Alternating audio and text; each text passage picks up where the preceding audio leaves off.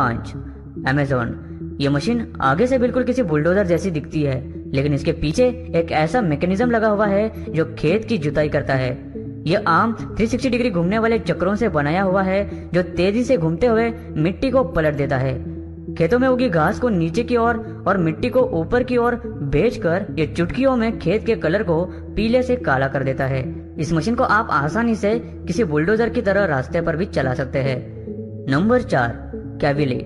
इस ट्रक में टायर्स की जगह टैंक की तरह ट्रैक प्लेट्स लगी हुई है। खेत में मौजूद पुरानी और अनचाही लकड़ियाँ या घास फूस को निकालने के लिए इस ट्रक को बनाया गया है, जो अपने पावरफुल ब्लेड से लकड़ियों को काट कर अपने अंदर रोल कर लेता है। ये उठाई हुई झाड़ियों को बंडल बनाकर बाहर फेंकता है। यह ट्रक आपको खेत साफ़ करने के लिए काफ़ी मददगार साबित होगा।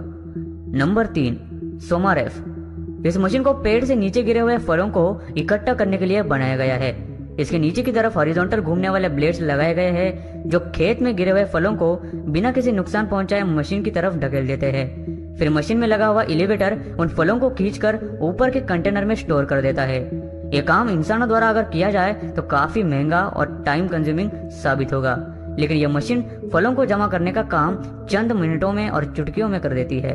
है ना कमाल की मशीन नंबर दो बॉम्ब फ्यूचरो बॉम्ब फ्यूचरों को स्पेशली पौधों की कटाई के लिए बनाया गया है। कुछ खेत आकार में बहुत विशाल और बड़े होते हैं, जो हज़ारों हेक्टर में फैले हुए होते हैं। इन खेतों से एक टाइम में 1.6 मिलियन कॉटन निकाला जाता है।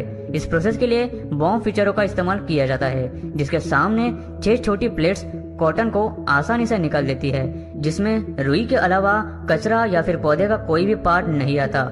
ये कॉटन को काटने के बाद उसे अपने अंदर लेकर उसका बंडल बनाती है, जो इस ट्रक के पीछे स्टोर करती है, जिससे कॉटन को ट्रांसपोर्ट करना काफ़ी आसान हो जाता है। नंबर एक ग्रिमी इस मशीन का इस्तेमाल खेत में लगाई हुई फ़सल की जड़ों में मौजूद मिट्टी के गड्ढों को तोड़ने के लिए बनाया गया है। ये मशीन खेत में लगाई हुई फ़सल की जड़ों में मौजूद मिट्टी के गट्टों को तोड़ने के लिए बनाई गई है। ये ट्रक खेत के अंदर जाते ही अपने आर्म्स को खोल देता है, जो फ़सल को किसी भी तरीके का नुकसान नहीं पहुंचाते। और बिना नुकसान पहुँचाए ये मिट्टी को हल्का कर देती है। ये वाकई एक कमाल की मशीन है।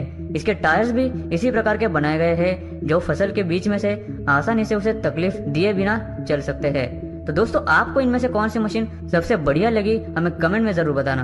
और क्या इन मशीनों को भारत में भी लाना चाहिए या नहीं, हमें कमेंट करके ज़रूर बताना।